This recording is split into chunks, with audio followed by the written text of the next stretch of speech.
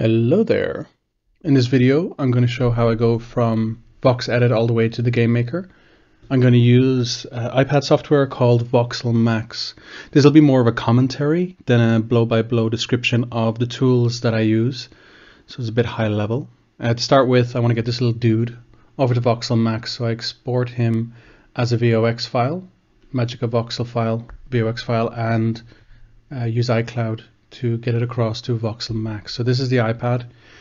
Um, some of the really cool tools in this are being able to double select any body part and enter edit mode like you see now and then start sculpting.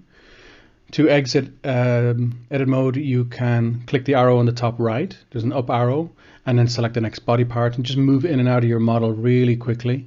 Super intuitive and fast. Another cool uh, tool is on the bottom, you've got your three panels. You got your brush panel, you got your mode, and you've got your tools panel. Um, within each of these, you can see I'm extruding right now using one of the modes called face mode. It allows you to extrude or pull or add to or remove large portions of voxels that are contiguous, that are sort of adjoined. Um, you can also use uh, a color mode. So if you select one of the tools a second time, uh, your create tool, your erase tool, your paint tool or select tool, uh, it then uses the color of the surrounding voxels or at least the voxel that you're building on to color the new voxel that you're creating or to help you select a large section of voxels that are the same color. This also overrides the uh, color palette when you are creating voxels, which is super cool because it allows you to move up and down your model if you've already uh, started texturing it or painting it with uh, colors from the color palette. On the left hand side you've got uh, your most used uh, palette colors and I think there's six of those and the the color that is in a square box actually allows you to open the, the material or the palette uh, panel. I tend to leave it permanently open to play around with some of the other features such as um, like a solo mode where you're able to work on only the selected model and hide all of the surrounding models. You've got your top right view cube and just below it there's a couple of options there that you should try out. The eye will, will highlight only the selected model um, like I'm doing right now. Uh, to change the workspace you use the icon just below that which allows you to scale out your workspace or shrink it. Um, like I've just done here with the arm.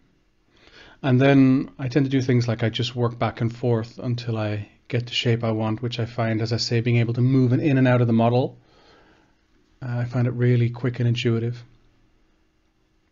You also have, of course, your mirror at the top when you're in edit mode.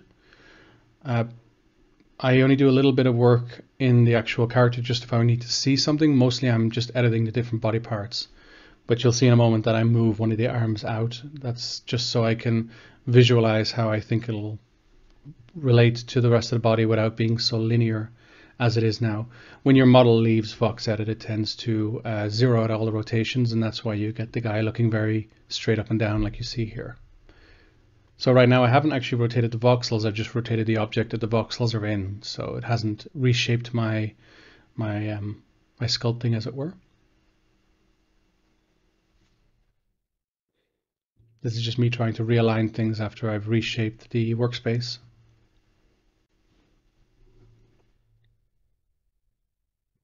Just finishing off the legs. There's a couple more tools, um, a couple more options in the tools section for moving and rotating, etc., and cloning. But for now, this is this was a 45 minute sketch that I did in Voxel Max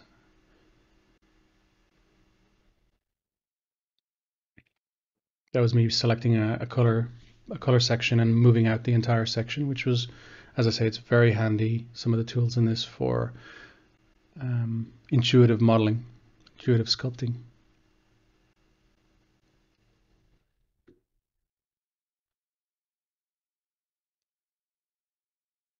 Okay, I'm coming to the end now. So now that I have all of the right hand side put together, I don't need to do the left because I'm just going to mirror those over in VoxEdit. Of course, it would be really cool to just be able to click a button and it swaps out the other side for a mirror of these models, but that's not necessary, not for what I'm doing.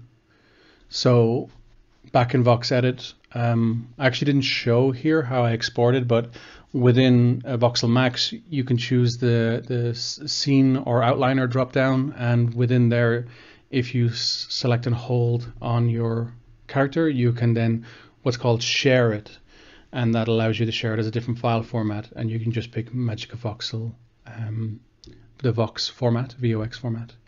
So right now what I'm doing is in VoxEdit, I like to try and work as clean as possible. So I started with a fresh VoxEdit scene.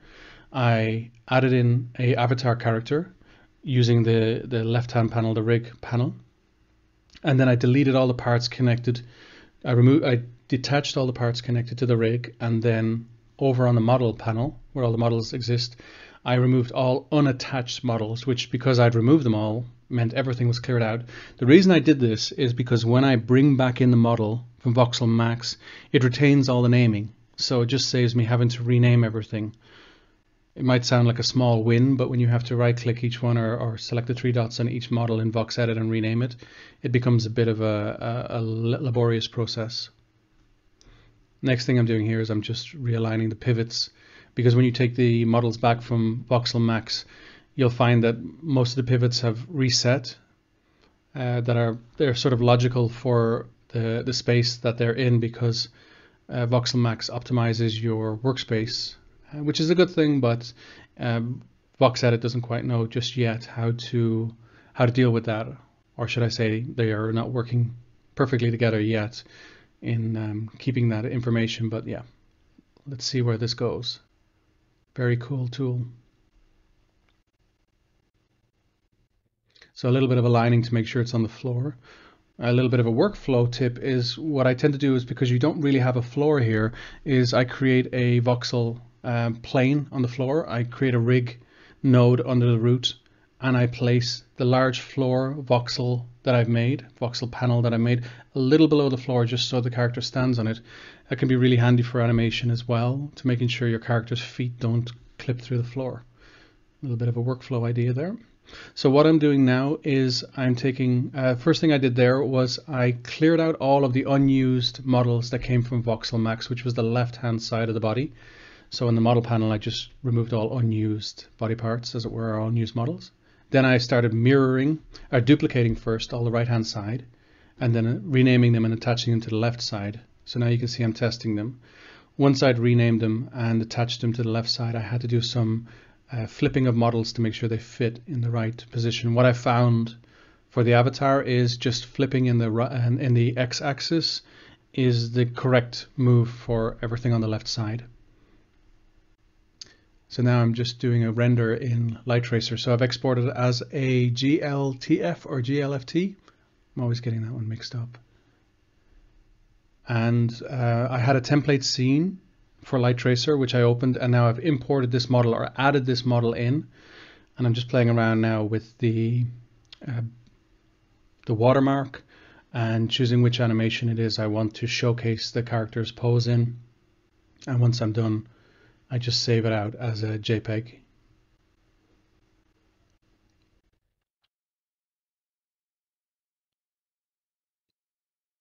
There you go.